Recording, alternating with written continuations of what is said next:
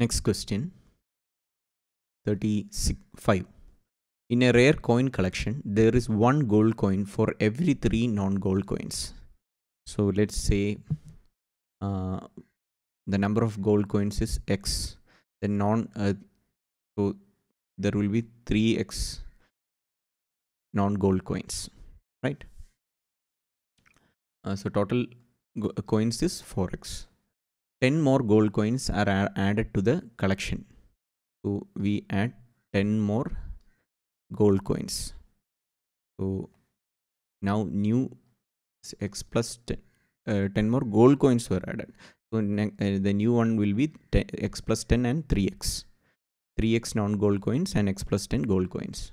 And r- this becomes, and the ratio of gold coins to non-gold coin would be 1 is to 2 gold coins to not gold, coin. So x plus 10 by 3x becomes 1 is to 2 based on the information the total number of coins in the collection now becomes. So if you solve for x you can see 2x plus 20 is equal to 3x or x is equal to uh, 20 so the coins uh, total number of gold coins now is x plus 10 and 3x gold coins and non-gold.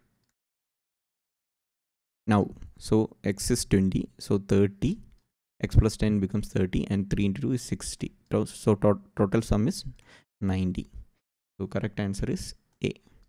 Solution to question 35 is a